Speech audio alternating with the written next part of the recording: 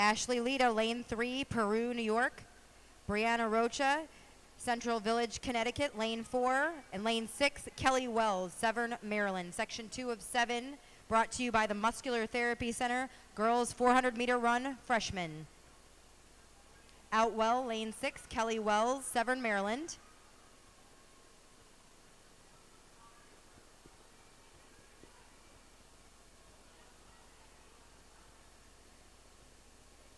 That's Wells, Brianna Rocha.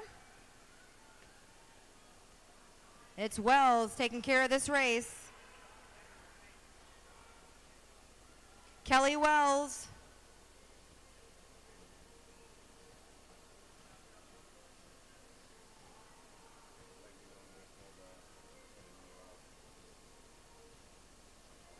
Kelly Wells on the home stretch.